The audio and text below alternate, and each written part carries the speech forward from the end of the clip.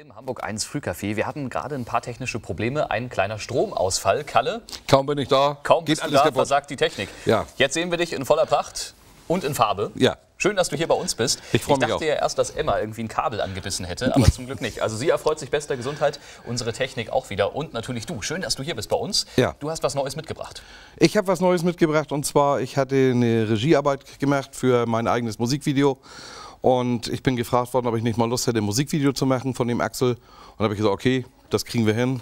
Ja, und dann habe ich gefragt, ob ihr daran Interesse habt. Ihr wart Feuer und Flamme. Natürlich. Und Ja? der Axel, der war auch Feuer und Flamme. Wie lange kennst du Axel? Wer ist Axel genau? Axel Stender, das ist der, macht die Videoproduktion und wir haben uns kennengelernt irgendwann mal bei irgendeinem Auftritt. Da kam er dann an und sagte, Mensch, sagt er, bist ein guter Typ und so, ich würde ganz gerne mit dir mal ein Video machen. Und wir wollten das ursprünglich im Sommer machen, aber die alte Geschichte wie beim letzten Besuch, wir hatten einen Unfall und da ging natürlich nichts mehr. Und den letzten Sonnentag in diesem Jahr, den haben wir noch genutzt und haben schnell ein Video gezimmert. Ich hatte selbst auch das Drehbuch geschrieben und äh, Regie geführt. Und im Nachhinein an alle Kollegen von der Regie, ich habe viel Scheiße gebaut. Du hast viel aber es war, Scheiße- ja, aber es war die erste. Also ja, man, man, man Ja, sieht in, so ein, zwei kleine Flüchtigkeitsfehler vielleicht zum Nee, Beispiel. es sind, sind sogar ein paar mehr, weil man sieht im Motorrad äh, spiegelt sich dann mitunter da die, die Sonne, äh, der Kameramann oder so. Also es ist mir einiges daneben gegangen. Je öfter ich das angucke, desto mehr Fehler entdecke ich, aber aus Fehlern lernt man. Und im März mache ich mein nächstes Video mit Junge, komm bald wieder im Hamburger Hafen. Und da machen wir dann vieles richtig. Hoffentlich Hoffe auch bei Sonnenschein und dann wärmeren Temperaturen. Auf jeden Denn Fall. jetzt musstest du ja auf den letzten Sonnentag im Jahr zurückgreifen. Da war es aber schon ein bisschen frisch, ne?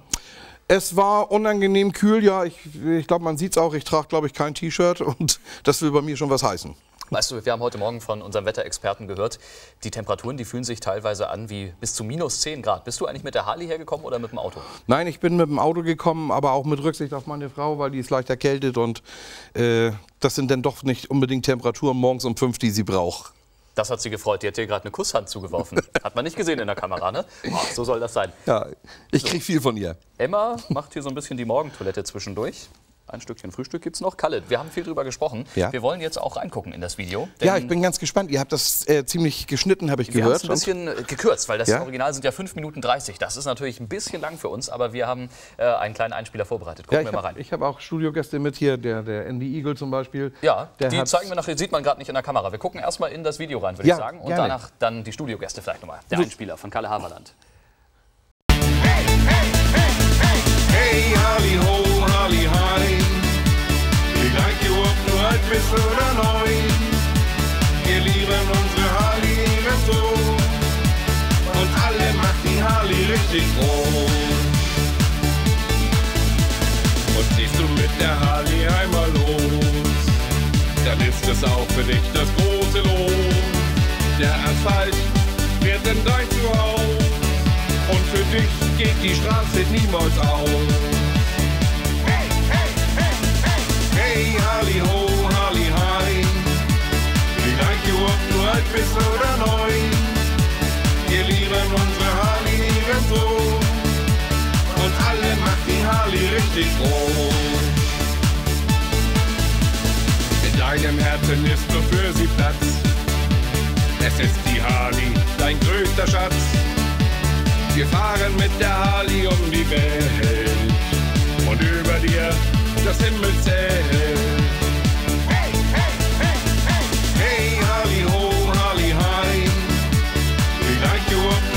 Du alt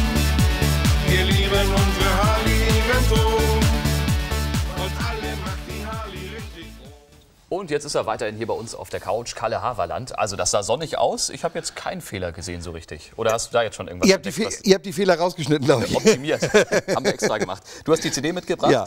Kalle Haverland. Was mir Harley übrigens aufgefallen ist, ich habe doch ein T-Shirt angehabt. Das war zwar das So- Sommer-T-Shirt, Ja. aber meine Frau hatte eine Winterjacke an, also muss es kühl gewesen sein. Genau, die Braut hinten drauf war deine Frau? Nein, die äh, mit dem Dame mit dem, mit dem Schwarzen, mit dem Helm. Ja. Äh, die Braut, die haben wir da aufgelesen, die wollten da und die haben tatsächlich geheiratet in den, in den Markthallen dort und äh, wollten da unter der Brücke Fotos machen, aber wir waren zuerst da.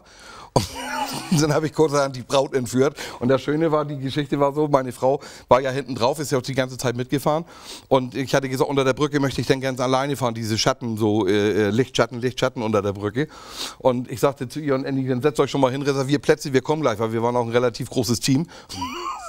ich möchte da gerne alleine fahren. Und dann fahre ich an dem Tisch vorbei mit der Braut hinten drauf. Da hättest du mal das Gesicht von meiner Frau sehen sollen. Ja, ich hätte gefragt, wir können jetzt ja mal die Frau einblenden oder deine Gäste. Du hast ja einen Fanclub mitgebracht, Ja. ähm, teilweise sehr weit angereist, extra für deine Videopremiere hier bei uns. Ja, aus Mahne, aus Schleswig-Holstein, aus Baden-Württemberg, aus, aus Baden-Württemberg? Bad Segeberg und naja, Hamburg eben halt. Hamburg eben halt, genau. Kalle Haverlands Fanclub mit dabei. Wenn du ein neues Video rausbringst, muss das so sein. Wir freuen uns aufs nächste Video. Das haben wir auch schon angesprochen. Lass uns auch noch mal kurz über Fußball reden. Ja. Wir haben ja schon mal ähm, gesagt, oder das hast du zumindest mal ähm, gesagt, viele Leute, die würden gar nicht die Musik erwarten, die du machst, wenn sie dich sehen vom Erscheinungsbild. Da sagst du, ist ja vollkommen egal. Man macht ja das, was man möchte. Richtig. Eher HSV, eher St. Pauli-Fan. Ähm, ich bin eigentlich eher ein St. Pauli-Fan, muss ich ganz ehrlich sagen, aber in meiner Brust schlagen zwei Herzen. Ich bin Hamburger, ich bin natürlich genauso für den HSV und im Moment bin ich also, was das angeht, also völlig angepisst. Angepisst auf die Leute, weil die verdienen so viel Geld und haben es nicht für nötig, da mal in der Ball hinterher zu laufen. So schwer kann das doch nicht sein. Also ich glaube, das kriege ich sogar noch hin. Guck mal hier, die Schlagzeile heute im Abendblatt. Hamburg kann alles außer Fußball mit den Ja. beiden Trainern. Könntest du ohne weiteres unterschreiben, ne? Kann man, ja, ohne, ohne Frage, ja. Also Ja. im Moment ist das ziemlich enttäuschend. Ich war ja selbst im Stadion jetzt am Samstag, äh, am Sonntag, Entschuldigung, am Sonntag und äh, habe von der Astra Lounge aus äh, beobachten können das Spiel. Ganz anderen Blickwinkel gehabt, sonst bin ich immer in der Süd bei den Ultras. Aber äh, nee, das war, war ein grauenvoller Kick. Also, nee, geht gar nicht. Die Harley, die wir jetzt gesehen haben im Video, ist die jetzt eigentlich schon eingelagert für den Winter? Hat die jetzt Winterpause oder? Nein, also bei mir gibt es keine Winterpause. Gibt es nicht? Nein, ich bin Ganzjahresfahrer. Wenn schönes Wetter ist, beziehungsweise schön ist für mich trocken. Ja, dann bin ich auch, ich habe kein, Jahr, äh, kein, kein äh, Kennzeichen geteiltes für Sommer, Winter, sondern ich kann das ganze Jahr über und das nutze ich auch, ja. Das heißt, auch wenn im Winter die Sonne rauskommt, es trocken ist, nicht glatt, dann wird die Harley rausgeholt. Absolut, ja. Sonst wird dir was fehlen wahrscheinlich, ne? wenn du das Baby wegschließen müsstest irgendwie für Monate. Ja, nee, das ist auch so, auch, das gilt auch für meine Frau, wenn du mal irgendwie so, es gibt ja immer mal so Tage im Leben, wo du nicht so gut drauf bist, wo du so ein bisschen durchhängst oder so. Und wenn du dich dann aufs Moped setzt und selbst wenn du nur eine halbe Stunde oder so durch die City fährst, äh, das macht die Birne frei. Also es ist, es ist ein Glückshormon, glaube ich. Ja. Dann hat dein Videodreh auch die Birne frei gemacht. Da waren viele Hamburg-Impressionen zu sehen. Du hast gesagt, das nächste Video im Hafen. Jetzt warst du in der Hafen City unterwegs mit der Harley. Ja. Wie aufwendig war denn der Videodreh? Ähm, ich hatte das also versucht, äh, vom Budget her relativ klein zu halten, was mir aber nachher gar nicht mehr gelungen ist, weil es wurden immer mehr Leute. Aber es war sehr, sehr, sehr schön und äh, Hamburg ist nun mal auch eine schöne, eine schöne Stadt und wir hatten eigentlich vor, noch ein bisschen aufs Land zu fahren, aber uns lief die Zeit weg, das Licht ging langsam zu Ende. Wir hatten, du hast es gesehen, da am Lagerfeuer nachher mit, mit glaube ich, 10, 12 Leuten gesessen, haben schön Pizza gegessen. Genau, wo wurde das gedreht, die Feuerszene? Das war bei Pete Lewis, der äh, hat auch die Gitarre gespielt. Andy Eagle hat die, die Mundharmonika gespielt. Was ihr jetzt nicht gezeigt habt, den Anfang. Da möchte ich dann nochmal darauf hinweisen. Das Video wird hochgeladen bei YouTube. Genau. Natürlich. Da kann man es dann in voller Länge sehen. Und ich hatte vor, ein, ein, ein Musikvideo zu machen, eben über die Harley. Und im Anschluss ein, ein Impressionsbild zu machen mit den Mitwirkenden, weil ich denen natürlich auch was Gutes tun wollte, weil die mitgemacht haben. Andy Lewis ist ein hervorragender, äh, äh, Andy. Andy und Andy Eagle und Pete Lewis sind hervorragende Musiker und die haben dann abends zum Lagerfeuer ein bisschen geschrampelt da. Das war Bisschen geschrampelt. ja, es war, War gemütlich. Ja, es war, Ja. war einfach toll, ja. Sehr war, schön. So lässt man so einen Tag dann auch ausklingen. Ja. Wir ähm, haben darauf hingewiesen, das Video, das war jetzt ja so ein kurzer Ausschnitt bei uns zum Lustmachen. Das richtige Video in voller Pracht gibt es dann zu finden bei YouTube. Wie heißt dein YouTube-Kanal? Wo gibt es das nachher zu sehen? Kalle Haverland. Kalle Ganz Haverland. einfach. Ne? Ganz Braucht einfach. man nicht darüber nachdenken. Eben. Kalle Haverland. hat- Ja. Holst du irgendwas raus? Ja, Ach so. guck, könnt ihr notieren. Kalle Haverland schreibt sich mit V. So einfach ist das. So einfach kann das sein. Und die CD, die gibt es auch noch zu gewinnen. Und zwar auf unserer Facebook-Seite, facebook.com slash Hamburg, Frühcafé Hamburg 1. Und da, guck mal, da gibt es sogar noch ein Interview von dir. Auch Kalle Haverland. sagen wir mal eine Widmung. Eine Widmung. Alles Gute und dein Autogramm. Sehr schön. Ja. Und Live-Musik bei uns im Studio gibt es auch noch. Ja. Da freuen wir uns gleich auch noch drauf. Ist die Stimme schon gut geölt? Äh, ja, du hast mir ja damals, äh, als ich das letzte Mal zum Besuch war, hast du mich ja angesprochen auf Ding Dong. Ja, Und da habe ich gedacht, naja gut, wenn ich schon hierher komme und dir hat so gut gefallen, klar. dann muss ich es auch für dich singen und für das Und Publikum für das natürlich Publikum. auch.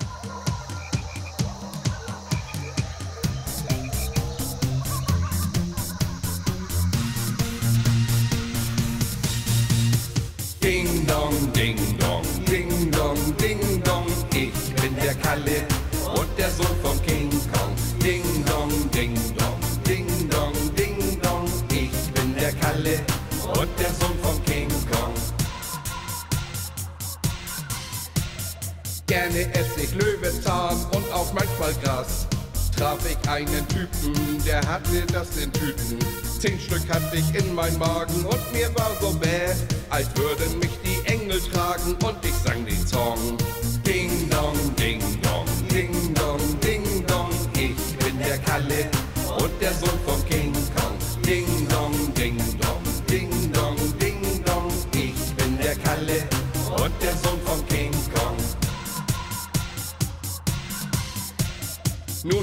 Den Typen das, so war es auch krass.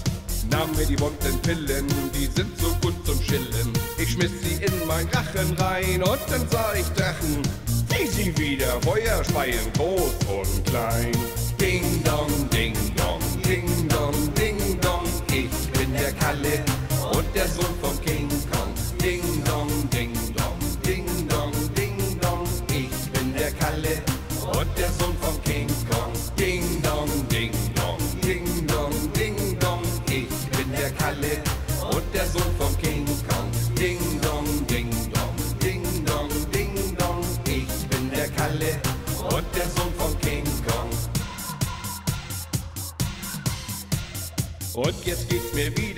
gut, ja so richtig gut. Nehme keine Drogen mehr, das ist ein alter Hut. Hab ne Harley, eine Frau und auch einen Hund. Arbeite ein bisschen mehr, denn meine Welt ist bunt. Ding dong, ding dong, ding dong, ding dong. Ich bin der Kalle und der Sohn von King Kong. Ding dong, ding dong, ding dong, ding dong. Ich bin der Kalle und der Sohn von King Kong.